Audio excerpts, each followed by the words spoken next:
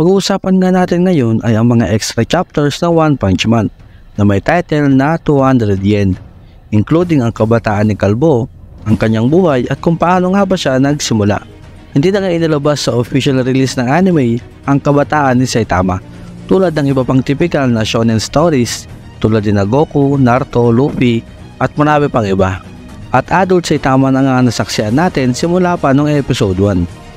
Anyways, this chapter reveals nga ang 12-year-old Saitama at ang kanyang buhay bago siya tawaging One Punch Man.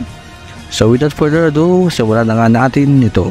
So sa first chapter nga nito, idinidiwang ng kanilang eskwelahan ang pagtatapos ng Saitama bilang mga grade school.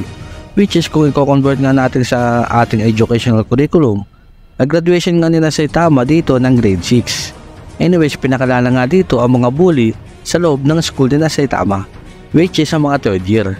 Hinihingian nga nila ng pera itong mga kawawang mga first year na mga kabatch ni Saitama. Hanggang sa dumating nga ang batang version nitong si Moomin Rider ang dating nga nitong pangalan ay Nameless Bicycle Commuter. Anyways, magkabatch nga pala sila si Tama at si Moomin Rider noon at parehas nga din sila ng eskwelahan.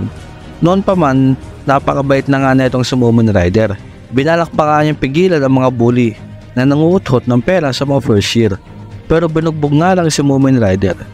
Anyways, kinabukasan nga, naging usap-usapan sa eskwela ni na Saitama ang pambubugbog kay Moomin Rider pero tila nga walang pakialam si Saitama sa kanyang mga kaklase at sa buong paligid. Parang introvert nga ata itong ating bida noon. Afterwards, kinapunan nga bandang alas 4. Habang nagpapahinga nga si Saitama sa kanyang kwarto, ay may nabalita nga na may isang halimaw nga daw ang umiikot-ikot sa loob ng Z-City. And over the past 10 years nga ay pataas pa daw ng pataas ang data patungkol sa mga halimaw na lumalabas sa kanilang mga syudad. Wala nga magawa ang mga polis para pigilan ng mga to. Dahil nga that time ay hindi pa nga na-establish ang Hero Association. So wala nga daw specific na organization ang pwedeng pumuksa sa mga halimaw na patuloy na lumalabas sa loob ng ZCT. Wala nga pakialam si Saitama noon sa mga bagay-bagay sa mundo. At ang gusto nga lang daw niya ay ang magpahinga. Anyways, kinabukasan nga, tulad din natin, na-experience din naman ni Saitama ang pagalitan ng kanyang teacher dahil di nga nito nagawa ang kanyang assignment. Dahil pag uwi nga ni Saitama ay diretso tulog na nga lang siya. At saka bahala na bukas, parang ganun. Galit ng galit nga ang teacher niya bakit di daw nagawa ni Saitama ang kanyang assignment. Pangatlong araw pa lang daw nito sa school pero nagpapasaway na daw siya. Mahuli nga daw ito sa mga lessons at topics na ibibigay niya at saka yung next assignment na ibibigay niya sa buong klase. Pero sagot naman ni Saitama dito na pwede naman daw niya pagsabayin ang paggawa niya ng assignment nila kahapon at yung assignment ibibigay ng teacher ngayon. Kaya naman lalo pang nagalit ang teacher na Saitama dahil nga sagot pa daw ng sagot dito ang ating bida. Dahil nga dito ay pupunta nga daw sila sa guidance room. At medyo na-disappoint na si Saitama dito dahil nga naririnig niya na inaasar siya ng kanyang mga kaklase. After nga nito habang naglalakad na si Saitama papunta sa guidance room ay tinawag nga siya ng dalawang bully sa kanilang school. Pinapasama nga si Saitama sa likod ng school nila at kung di daw siya sasama, ay wawasakin daw nilang dalawa ang bagong uniform ng ating bida. At nang makapunta na nga sila sa likod ng eskwelahan, ay kinukuha nga ng dalawang bully na to ang wallet ni Saitama. At sagot naman ni Saitama sa mga bully na wala nga daw siyang wallet. Sabay crack ng kanyang mga kamay na tila handa nga makipagsapakan ito si Saitama sa mga bully. Dagdag pa nga ni Saitama na walang wala daw silang panama sa katulad niya at na bad trip nga at naangasan ang mga bully sa mga sinabi ni Saitama dito.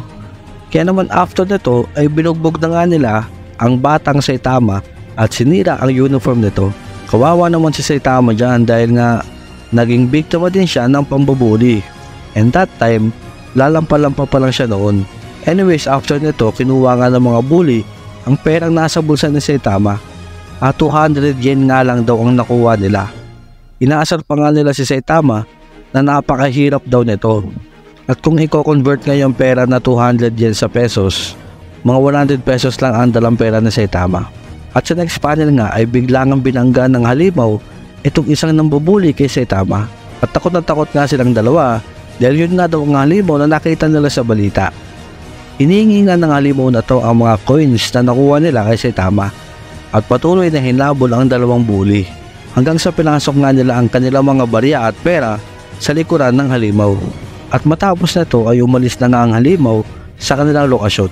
Iyak nga ng iyak ang isa sa mga bully dito dahil ang lahat daw ng pera na kanyang nakukuha ay pinapambili niya ng pagkain ng kanyang nakababatang kapatid.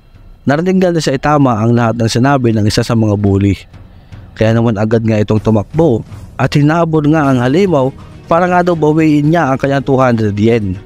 Hanggang sa maabutan nga na sa itama ang halimaw na baboy. Pero madali nga siyang dinurog nito. And then after nga nito ay pumunta nga si Saitama sa loob ng guidance upang kausapin nga ang teacher niya. Patuloy pa rin siyang sinisermonan nito hanggang sa kanyang paglabas. At habang naglalakad nga siya po uwi ay naaalala nga niya ang lahat ng kamalasan na nangyari sa kanya mula sa teacher niyang masungit, sa mga bully sa kanilang school at sa halimaw na baboy. Iniisip nga niya na hindi siya nabibilang sa society. Palagi na lang daw siyang minamalas at sumasablay. Paano nga daw ba siya mamumuhay ng maayos kung napakahina daw niya? And then time skip nga after nga maging sobrang lakas ni Saitama ay pumunta nga ito sa isang bata kung saan buwat-buwat nga niya sa kanyang balikat. Maaring ito yung batang kapatid ng isa sa mga bully. Anyways, nag-usap nga sila patungkol sa buhay-buhay. At sinabi nga ng bata kay Saitama Natakot nga daw siya sa future dahil sa mga halimaw. Dahil paano nga daw siya mamumuhay sa mundo kung mahina daw siya. At sagot naman ng ating bida dito, dati rin daw siyang takot mamuhay sa mundo. At kahit hanggang ngayon, hindi daw naging madali ang buhay para sa kanya. Hindi na raw importante kung malakas ka man o mahina. Basta gawin mo lang daw ang gusto mong gawin. Payo nga ni Saitama dito sa bata. At tinanong nga ng bata na kaya daw ba ni Saitama na talunin ang sobrang laking halimaw na to. At sagot naman ni Saitama na nakalimutan daw niyang ilabas ang kanyang mga basura.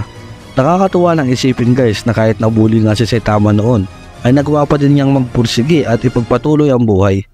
Kahit na puno ng kamalasan ang nangyari sa kanya ay di niya ito inintindi at kinuwan lang niya ng paraan para malagpasan ang lahat ng ito. This reminds us na kahit na nasa pinakabottom ka ng buhay ngayon, darating ang time na mapupunta ka rin sa itaas. Basta magpatuloy ka lang at huwag kang susuko. At dito na nga nagtatapos ang chapter natin for today. Maraming salamat sa panonood. Hanggang sa muli, paalam, peace.